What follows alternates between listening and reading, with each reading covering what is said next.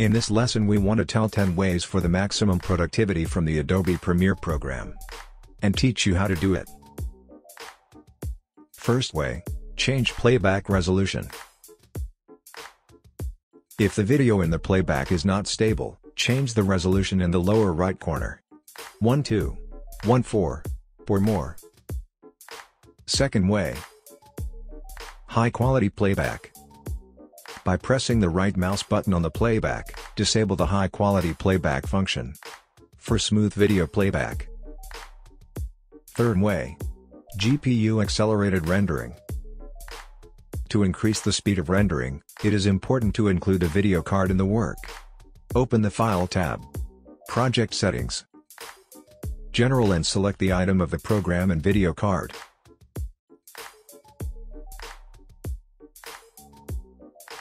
Fourth way. RAM settings. Adobe Premiere has the ability to select the amount of RAM that will be reserved for the program. Open Premiere Pro, Preferences, Memory, and select how much RAM will be used for Adobe Premiere.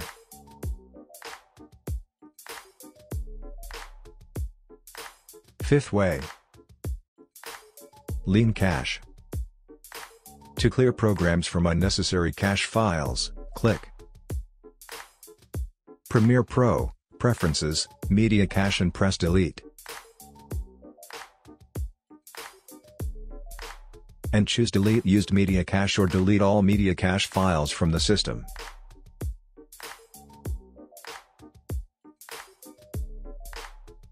Sixth way. Proxy layers. To create a proxy layer, select the video we need and right-click.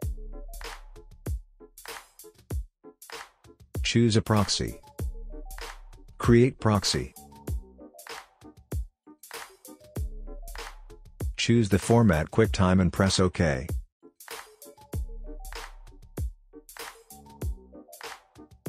After that, the Adobe Media Encoder program opens. The program can be downloaded from the official Adobe website. At the end of the proxy creation, a green checkmark will appear next to the file. Returning to Adobe Premiere. This button turns the proxy layer on and off. 7th way. Partial render. To run render, we need to select the desired segment and open the sequence render selection or another type of render, if you need. This process takes time, but it is the most efficient.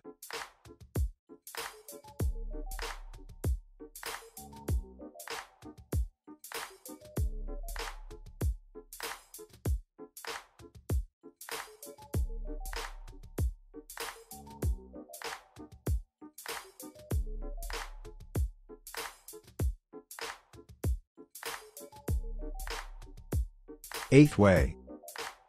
Turning off effects. In the playback window there is a button to turn on and off all effects. Turning them off we will significantly improve the quality of video playback in the program. Ninth way. Lumetri Scopes. The Lumetri Scopes window loads Adobe Premiere heavily. In order for the program to work faster, it is better to close this window when you are not working with color grading. 10th way.